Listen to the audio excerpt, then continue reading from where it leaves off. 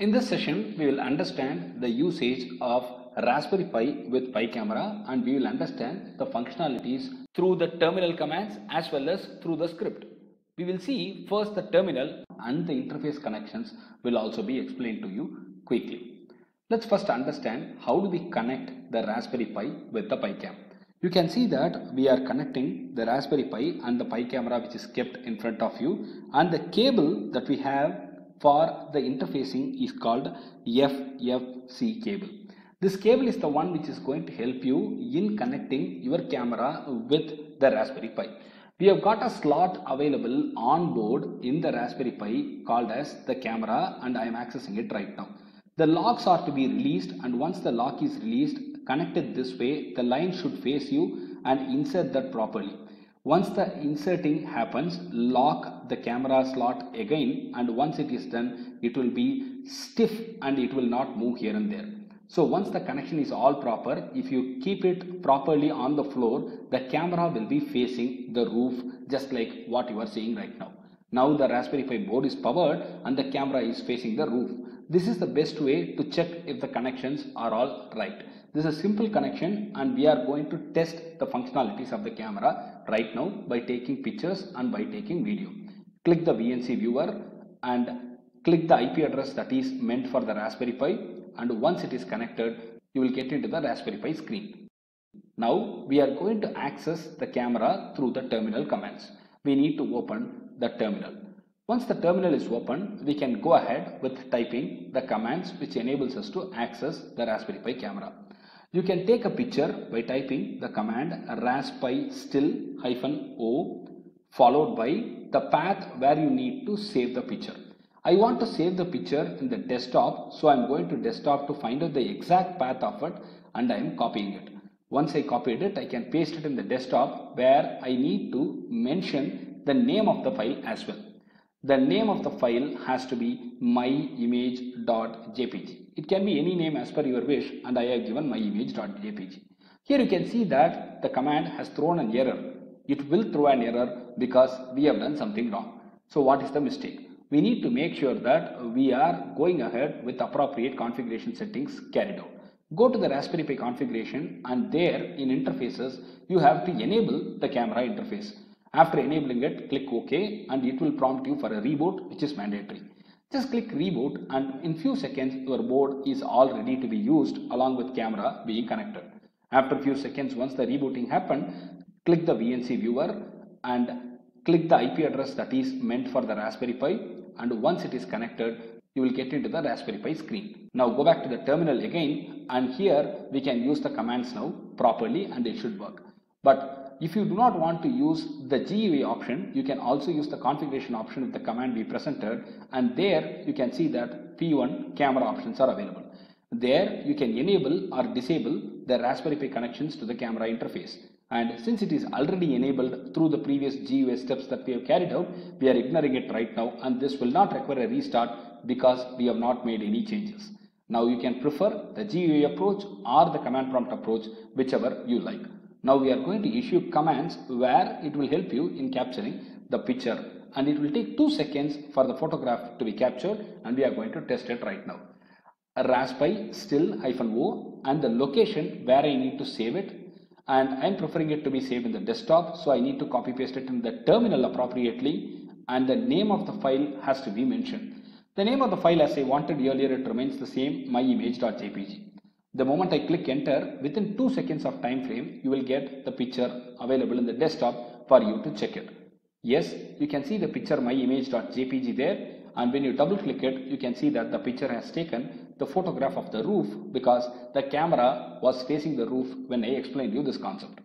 So now the picture is taken and the next step is to check if video can be recorded. We are going to record a video for 5 seconds and for that commands are available. So we are going to use the command to record a short video with the command RASPA VID, VID hyphen O and again the path where you need to store the video along with the name of the video has to be presented. The video name is myvideo.h264. It is the format that we want the video to be stored with. Once you click enter, in few seconds, the 5 seconds video will be recorded and it will be made available on the desktop screen of you. You can see that the myvideo.h264 is available on screen right now and we can open it to see if the video is recorded. For that, we need VLC media player and I have installed it already in my machine. So you can see that in the sounds and video, you can see that VLC media player is available and I can click it and I can open it as well.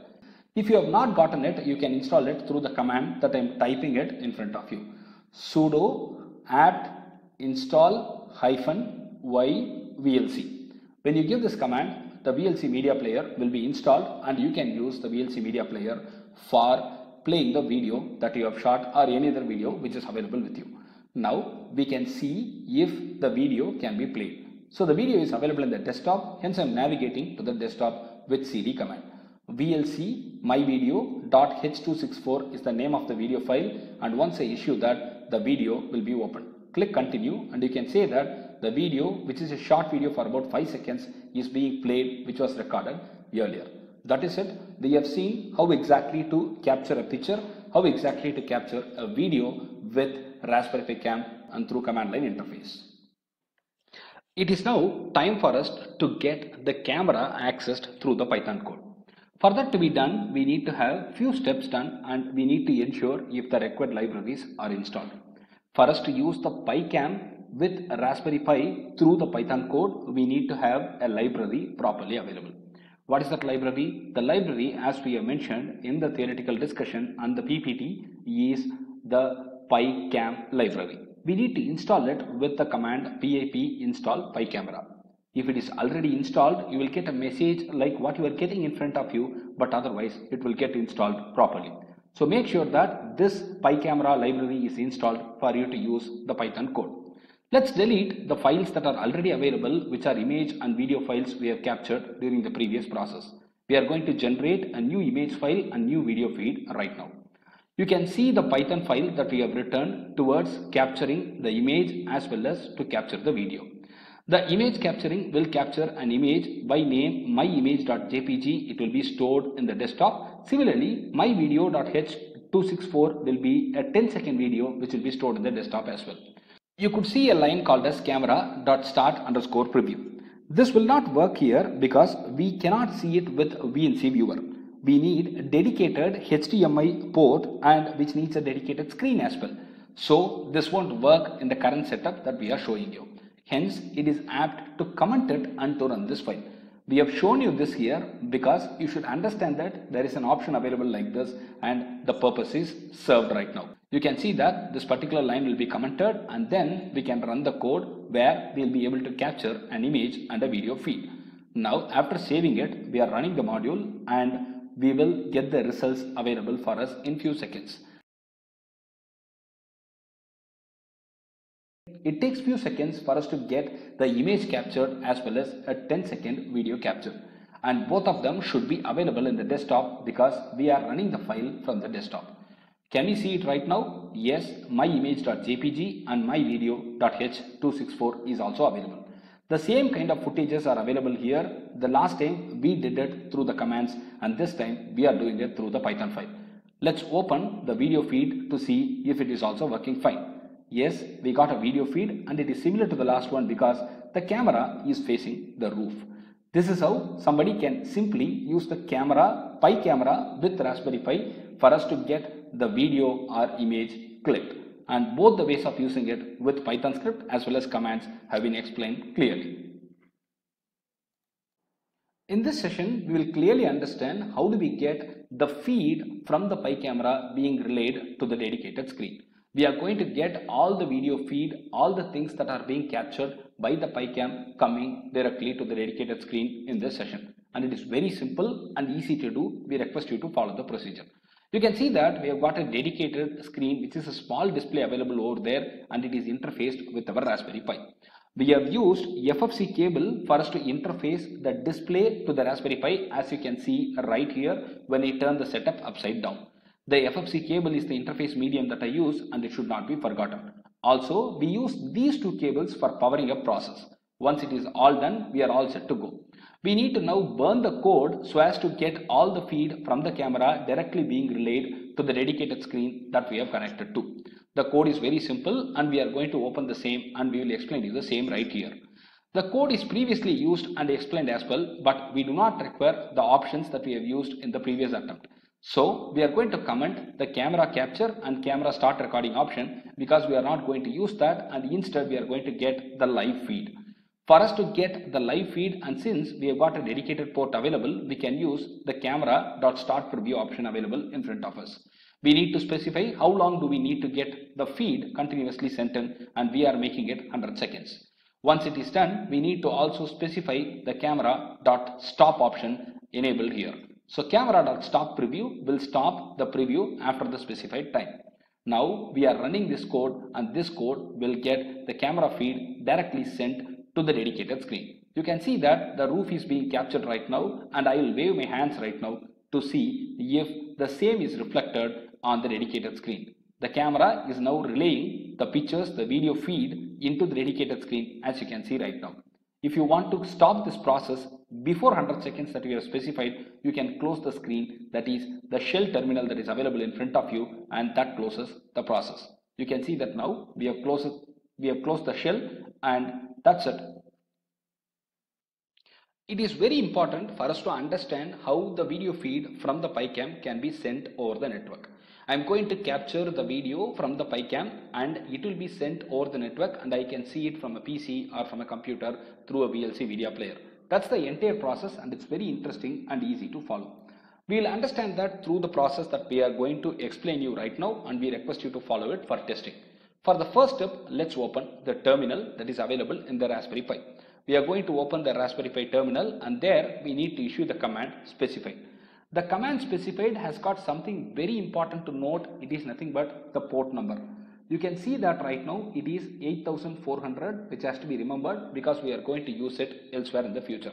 And once this command is issued, the video stream is now available over the network. Now how do we see it? That's the next step that we need to understand. Go to your PC where VLC player is installed. Let, let this screen be passed. Let this screen be available as it is right now. Let's go to VLC player from the laptop or the PC or whatever you have. And there we have options available for us to see the screen. Go to media. In media, you can see that open network stream option is there. Click that and in that you have got an option to enter the URL. There you need to paste the IP address of your Raspberry Pi properly along with the port number. The IP address is made available right there 192.168.43.18 along with 8400 as the port number has to be specified here. So once you present it properly here and then click play, whatever stream is coming from the Raspberry Pi camera will be made available in the VLC media player here. Let's type it properly first and let's issue play. Once the play is issued, you will get the screen immediately filled with the content that is sent through the Pi camera. You can see that there will be a mild delay of 2 seconds which is visualized right in front of you. When I move it here in my camera, it is available right now after 2 seconds. That delay is inevitable because it is coming over the network and this is how you can get the video feed over the network from the PiCam.